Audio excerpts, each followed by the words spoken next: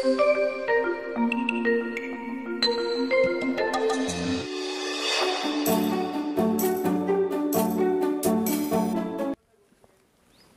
साथियों, आज हम पहुँचे हैं अमरावती। अमरावती में हम आए हैं एक किसान हैं, डॉक्टर रोहित नेरीवाल। डॉक्टर रोहित एक एनेस्थीसियन है। और इनका बहुत ही अच्छा एक हॉस्पिटल है अपना, मातोश्री हॉस्पिटल के नाम से। ये अमरावती में एक विलेज है वलगांव। वहाँ पर है जो अमरावती से लगभग आठ से दस किलोमीटर दूर है। किसान साथियों, रात हम यहाँ पर रुके, ये हमारा तीसरा पड़ाव था और मेरी बहुत इच्छा थी कि मैं डॉक्टर साहब के पास जाऊँ, उनका बगीचा देखूँ, उनके सब संसाधन देखूँ और आप लोगों को भी उससे परिचित कराऊं। डॉक्टर साहब का कुल 40 एकड़ का फार्म है जिसमें से 15 एकड़ नींबू है। जो 25 एकड़ है वो सीताफल है इनके पास में। और ये एक बहुत ही सुंदर फार्म है। आप देखेंगे कि इसमें गाय का भी एक गौशाला है छोटी सी इनके पास में जो गाय का मूत्र और गोबर ये अपने यहाँ पर करते हैं जीवामृत भी बनाते हैं। बहुत ही सुंदर फार्म है इनका यहाँ पर। आ, मैंने देखा कि जो ऑपरेशन है इसका पानी देने का, वो भी ऑटोमेटिक है, जिसे अपने फ़ोन से ही ये कंट्रोल करते हैं, घर बैठे बैठे कि कब इन्हें पानी चलाना है, कब नहीं चलाना है। और ये ख्याति का एक बहुत अच्छा स्टार्टर है, जिसे आप भी एक सिम के द्वारा प्रयोग कर सकते हैं। तो किसान साथियों, आइए बात करते हैं डॉक्टर साहब से। नमस्कार, मैं डॉक्टर रोहित कनेरीवाल, रहनारी, रहनारा वलगांव, महाराष्ट्र। मेरे यहाँ पर 40 एकड़ का बगीचा है। 15 एकड़ का नींबू का बगीचा है और बाकी 25 एकड़ है सो सीताफल का बगीचा है। डॉक्टर साहब सबसे पहले ये बताइए कि आपने ये बागवानी का कार्य क्यों शुरू किया? पहले आप क्या करते थे? क्या यही बागवानी होती थी पहले या आपने शुरू की? और शुरू की तो ये क्यों शुरू किया? मेरे पूरे गाँव में कोई बागवानी के हिसाब से कोई खेती नहीं होती है। बागवानी की शुरुआत सबसे पहले मैंने इस एरिया में मैं ही किया।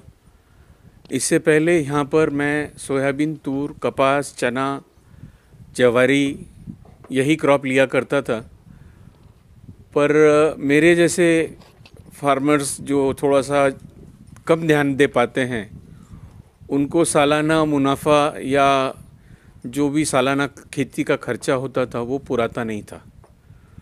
उससे कुछ और परेशान होकर मजदूरों की तकलीफ़ से होकर मैं एक नया कुछ सिस्टम डेवलप करना चाहता था, जिससे कि भाई मेरा ही नहीं, बाकी आगे वाले, आने वाली जनरेशन्स का भी इसमें उनको कुछ ना कुछ फ़ायदा हो। तो उसी हिसाब से मैंने ये बागवानी की शुरुआत की। शुरुआत में तो मेरा आम का बगीचा लगाने का प्लान था, क्योंकि वलगांव में एक ज़माने में, यानी मेरे पैदा होने के पहले के भी कुछ बोलें तो वलगांव के आम काफ़ी प्रसिद्ध थे पूरे हिंदुस्तान में। और वलगांव का गावरानी आम करके यहाँ पर एक अलग ही जाति होती थी। और आम के यहाँ पर नई नई करीब करीब पचास हज़ार से ज़्यादा पेड़ पौधे थे। अब काफ़ी कट गए, अब हार्डली दस एक हज़ार बचे हैं। तो जब उस वक्त आम लगाया जा सकता था तो अभी भी वापस होने की शक्यता थी। तो उसी प्रयास में मैंने प्रयोजन से मैंने ये काम शुरू किया। पर आम के मैंने 300 पौधे लगाए उसमें मैं कामयाब नहीं हो पाया। और पर सीताफल और नींबू में मैं काफ़ी अच्छे से काम कर रहा हूँ पर उसमें भी काफ़ी दिक्कतें आ रही है। डॉक्टर साहब ये बताइए आपने जो ये ये नींबू और सीताफल ही करने की क्यों सोची? ये दो बात। नींबू और सीताफल करने का सबसे बड़ा कारण ये है कि मेरी ज़मीन जो है खारे पानी में है। ज़मीन भी खारे पानी की है और मिट्टी भी खारिश की है। हार्ड हार्ड वाटर हार्डनेस काफ़ी ज़्यादा है मेरे यहाँ पर। कितना टी डी एस है ये करीब करीब 900 टी डी एस के आसपास हो जाता है मेरा यहाँ पर हार्डनेस। तो पानी का कम से कम उपयोग में जो बेहतरीन से बेहतरीन हॉर्टिकल्चर क्रॉप में ले सकूँ उसमें मैं सिलेक्शन के हिसाब से दो ही क्रॉप ले पाया समझ पाया एक सीताफल और एक नींबू।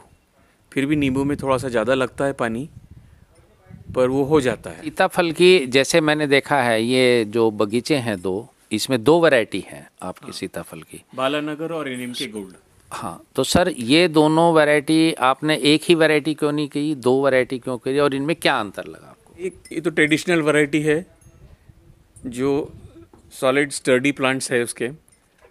और दूसरा एनएम के गोल्ड ये कसपटे साहब की एक नवी ईजाद की हुई वैरायटी है, जिसके प्लांट पौधे वगैरह जो है काफ़ी स्टर्डी है। इसका फल थोड़ा सा लेट आता है और काफ़ी देर तक, यानी संग करीब करीब इसका फल है, सो आपको नवंबर से चालू होकर दिसंबर तक मिलता है। और वहीं पर बालानगर का फल जो है आपको अक्टूबर नवंबर में मिलता है। और एनएम के गोल्ड का साइज़ भी बड़ा है थोड़ा सा टेस्ट में भी फ़र्क है। टेस्ट में तो अब कैसा है कि हर एक का चॉइस है। किसी को ज़्यादा मीठा चाहिए किसी को कम मीठा चाहिए। वो हिसाब से देखा जाए एनएम के गोल्ड थोड़ा सा मिठास में कम आता है पर बालानगर मिठास में ज़्यादा है। अ, बीज कम है बीज का प्रमाण कम है पल्प ज़्यादा है। ये चीज़ है एनएम के गोल्ड में। और साइज़ के हिसाब से काफ़ी अच्छा होने के कारण प्रमाण में ज़्यादा बिक रहा है। कलर तो खैर सुंदर पहली चीज़ ये बताइए कि इसकी कितने साल बाद फ्रूटिंग शुरू हो जाती है? दूसरी चीज़ ये बताइए कि इसे के लिए सही दूरी क्या है? और तीसरी चीज़ ये बताइए कि जब ये फल देना शुरू करता है पहले साल में तो औसतन कितने किलोग्राम प्रति एकड़ मतलब इसकी पैदावार हो जाती है और कितने उसे अगर रुपए में कन्वर्ट करेंगे? तीन चीज़ें बताइए। सबसे पहला तो इसके जो दूरी है, सीताफल लगाने के लिए सबसे बेहतरीन दूरी है करीब करीब चौदह बाय आठ की या चौदह बाय दस की, जिसमें करीब करीब अपने एकड़ भर में 300 पौधे के आसपास 300 से 340 पौधे के आसपास में आ जाते हैं। और सीताफल का बालानगर का पेड़ पौधा अपने को करीब करीब चौथे साल से वो सीताफल देना शुरू कर देता है। करीब करीब चौथे साल से अपन पाँच छः फल से लेके दस फल तक ले सकते हैं। उसके पहले के जो सीताफल आते हैं, उन्हें तोड़ दिया जाता है। और चौथे साल से अपन दस फल तक ले सकते हैं और उसके बाद में वो बढ़ता रहता है। जो सातवें, आठवें साल तक अपन एक झाड़ से करीब करीब पचास फल तक लिया जा सकता है। जो एक अच्छे साइज़ और अच्छी टेस्ट का फल अपने को मिलता है। टारगेटेड रहता है कि भाई अपने हर झाड़ से जो बजटरी कैलकुलेशंस होते हैं सीताफल के प्रोजेक्ट के, उसमें तीस किलो फल अपने को मिलना चाहिए। ताकि ओवरऑल जब रेट अगर मार्केट में जाके मिलें तो साइज़ भी अच्छा मिलता है। अगर 30 किलो लेते हैं तो सरासरी उसका साइज़ 400 ग्राम के आसपास एक सीताफल का मिल जाता है। तो इसका मतलब ये भैया लगभग तीन सौ अगर पौधे हमारे हुए मोर्टेलिटी को लेकर भी तो तीन सौ पौधों से ऑन एन एवरेज पचास फल हो गए हमारे। तो तीन सौ गुना पचास तो पंद्रह हज़ार फल मिल गए हमारे को। एक एकड़ से। तो पंद्रह हज़ार फल की कितनी कॉस्ट आ जाएगी सर इसमें? आपके एक एक किलो में चार फल बैठेंगे। एक किलो में चार हो गए। तो तीन से चार फल बैठेंगे तीन से चार। साढ़े तीन हज़ार किलो हो गए सर। साढ़े तीन हज़ार साढ़े तीन टन। मतलब हो गया साढ़े तीन टन हो गया। तो कितने रुपए किलो बिकता है सर ये? ये किसान के ओर पे अगर अपन ये इवन पकड़े पचास रुपए किलो अभी सीताफल की जो बागवानी में अपन करीब लगभग तीन सौ पौधे एक एकड़ में लगाते हैं। जो छठवें साल से अपने को ये कमर्शियल वायबिलिटी पे आ जाता है। लगभग पचास फल अपने एक पौधे से मिलते हैं। जो कि अपने को करीब करीब 3500 केजी सीताफल अपने को मिलता है। और अगर वो पचास रुपये किलो से भी अगर किसान के लेवल पर पचास रुपये किलो से भी गया तो अपने करीब करीब किसान को एक लाख पिचहत्तर हज़ार से एक लाख अस्सी हज़ार रुपये तक का घर में आ सकता है। और अपना सरासरी चार साल का सीताफल के बगीचे में का खर्चा जो लाख रुपए के आसपास मैं पकड़ता हूँ, वो होता है। तो पाँचवें छठवें साल में आपको वो सब रिकवर हो जाता है। और उसके बाद से बगीचा बढ़ता है और आमदनी भी बढ़ती है फ्रूट की साइज़ और क्वालिटी दोनों बढ़ती है तो उसी हिसाब से उसमें उत्पादन भी अपना बढ़ता है। कोई इंटरक्रॉपिंग भी लेते हैं आप इस बीच में पहले पाँच साल? शुरुआत के चार साल में मैंने सिर्फ़ चने की इंटरक्रॉपिंग लिया है जिससे कि अपने को वो चार साल का भी जो खर्चा है वो आराम से निकल के आ जाता है। तो किसान साथियों, ये मानकर चलिए कि जो हमारे चने से जो इंटरक्रॉपिंग हुई पहले चार साल में, वो लगभग आपका खर्चा निकल चुका आपका। और जो छठे साल से हमारी शुरू हुई जो है उसमें, मोटे तौर पर डॉक्टर साहब ने जैसे चालीस से पचास हज़ार बताया, आप इसे अस्सी हज़ार भी मान के चलो तो एक लाख का नेट प्रॉफिट आपको इससे हो सकता है। जबकि आप अच्छी देखभाल, समय पर खाद प्रबंधन, समय पर पानी करें तो। और अगर किसी को एक लाख प्रति एकड़ किसी चीज़ से आमदनी है तो उसे मैं बहुत अच्छी आमदनी समझता हूँ और एक बहुत अच्छा कार्य समझता हूँ। अच्छा डॉक्टर रोहित, ये बताइए कि इसमें हमें कौन सी बीमारी या जैसे हर फ़सल में कोई ना कोई ऐसी बीमारी होती है जो बहुत खतरनाक होती है। एक तो उसके बारे में बताइए। और दूसरा किसानों को जो इसे लगाने की सोच रहे हैं, उन्हें इसे लगाने के लिए कौन सी वैरायटी आप रिकमेंड करेंगे और क्या सावधानी उनको रखनी है? सीताफल का बगीचा लगाने के पहले, सबसे पहले मैं आप लोगों से चर्चा करना चाहूँगा सावधानियों के बारे में, जो मैंने भुगत भोगी हूँ उस चीज़ के बारे में।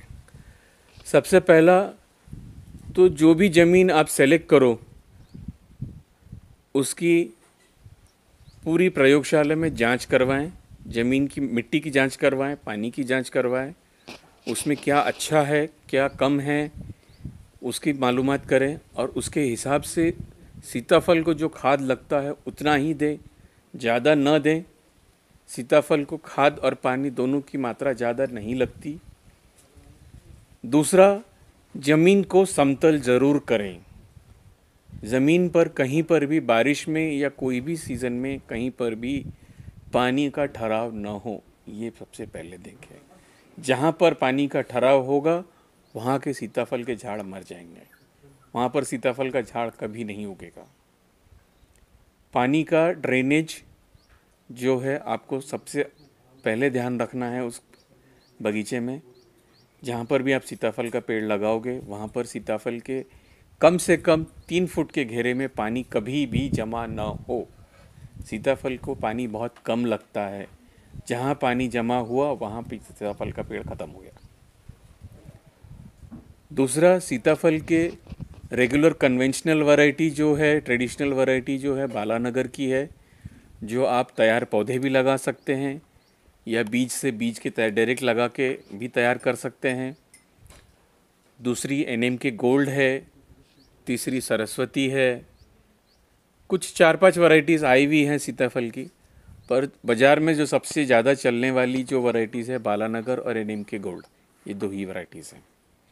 जो अपने हिसाब से अपने को मार्केट का लोकल में क्या चलता है, उसको देखकर अपने पौधे आप लगा सकते हैं। ये थे डॉक्टर रोहित और इनसे हम बात कर रहे थे सीताफल की।